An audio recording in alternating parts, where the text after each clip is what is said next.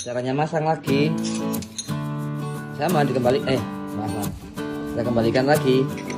Kita satu sisi dulu satu dulu. Terus yang ini yang kedua dimasukkan yang satu sisi ini.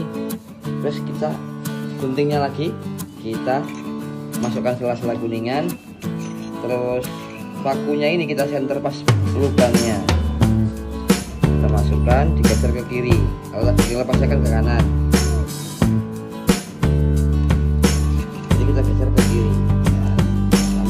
sampai mentok pol